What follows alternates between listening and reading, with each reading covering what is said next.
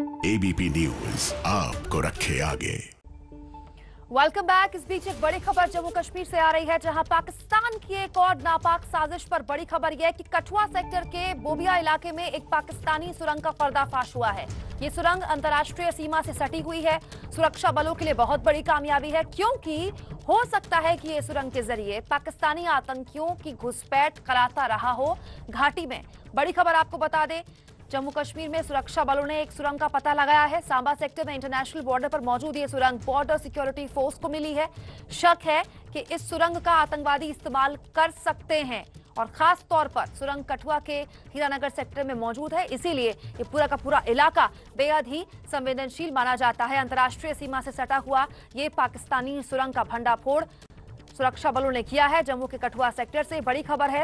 एक बड़ी साजिश का पर्दाफाश हुआ है। कठिया के बोबिया इलाके में पाकिस्तानी सुरंग मिलने के बाद। अजय बाचलू हमारे संवाददाता हमारे साथ जुड़ गए अजय, पिछले साल नवंबर में बीएसएफ को 150 मीटर लंबी सुरंग मिली थी।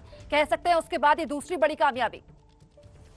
जी, बहुत बड़ी कामयाबी है कुमकुम और कामयाबी इसलिए भी है क्योंकि इस समय जो है जम्मू कश्मीर में भारी बर्फबारी हुई है, जिसको प्रशासन ने यहाँ पर प्राकृतिक आपदा तक घोषित कर दिया है। तो ऐसे में बर्फबारी के चलते जो एलओसी के पासेज हैं, जो घुसपैठ के रास्ते हैं वो पूरी तरह से बंद हो गए हैं और ऐसे में पाकिस्तान अब अंतर्राष्ट्रीय सीमा से घुसपैठ की फिराक में है। तो ऐसे में अब आप समझ सकती हैं जब एलओसी के पासेस बंद हो गए हो तो इस टनल से पाकिस्तान घुसपैठ कराने की फिराक में था और न केवल बीएसएफ ने इस टनल का भांडाफोड़ किया है इस टनल का पता लगाया है बल्कि उस साजिश को भी नाकाम किया है जिसके ज़रिए पाकिस्तान इसी टनल से भारत में जम्मू में आतंकवादी भेजने की फिराक में था और इन आतंकवादियों का जो टारगेट था वो न केवल जम्मू में जो सुरक्षा के ठिकाने हैं सुरक्षा के जो अहम ठिकाने हैं सुरक्षा बलों के नाम वो थे बल्कि पाकिस्तान लगातार इस फिराक में भी था कि अंतर्राष्ट्रीय सीमा से इन आतंकियों को भेजकर ट्रक या दूसरे वाहनों के ज़रिए कश्मीर भेजा जाए लेकिन ऐसा हो नहीं पाया अजय क्योंकि हमारे सुरक्षा बल मुस्तैदी से वहाँ पर मौजूद है। बहुत शुक्रिया आपका तमाम जानकारी के लिए। हम इसे सेना की बड़ी कामयाबी इसीलिए भी कह रहे हैं क्योंकि परसों भी सुरक्षा बलों ने आतंक के ठिकाने का पता लगाया था। ज़मीन के भीतर भारी मात्रा में हथियार छुपाए गए थे। अंडरग्राउंड ठिकाने पर हमारी ये रिपोर्ट। आतंक के ठिकाने का पर्दाफाश। छिपने के लिए बनाई अंडरग्राउंड गुफा। ज़मीन में बने छोटे से गड्ढे से निकलते इस जवान को देखकर इस बात का अंदाज़ा लगाना मुश्किल है कि इसके नीचे कितनी गहरी सुरंग है और फिर सुरंग के बाद एक तहखाना है। आइए हम आपको दिखाते हैं आतंक का ये खुफिया रास्ता। नीले रंग की दो दीवारों के बीच से गुजरता संकरा सा रास्ता जिसमें एक बार में एक शख्स ही घुस सकता है। इस संकरे रास्ते से आगे बढ़ने पर धीरे धीरे तस्वीर और साफ़ होने लगती है। ये संकरा रास्ता जहाँ खत्म होता है वहाँ अंदर एक छोटा सा कमरा बना है जिसमें लकड़ी के फट्टे और चादरें नज़र आती है। ये वही जगह है जिसका इस्तेमाल आतंकी सोने के लिए करते हैं। तीनों तरफ़ से सीमेंट की दीवारें और छत बनी हुई है ताकि सोते वक्त मिट्टी न गिरे।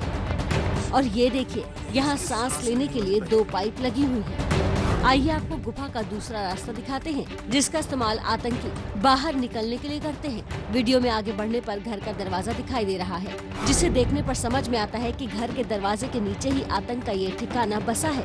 आतंकियों का ये ठिकाना ज़मीन से 10 फीट नीचे, इसलिए आतंकी बाहर निकलने के लिए रस्सी का इस्तेमाल करते हैं। वीडियो में देख सकते हैं कि कैसे सुरक्षा बल का जवान रस्सी के सहारे बाहर निकलकर दिखा रहा है।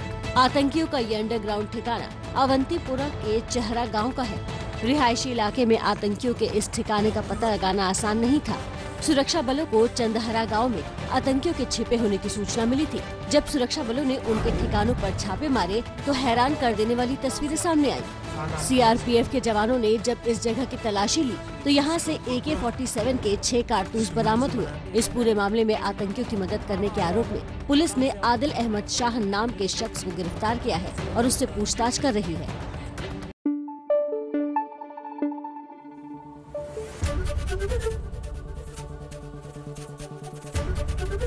एबीपी न्यूज़ आपको रखे आगे।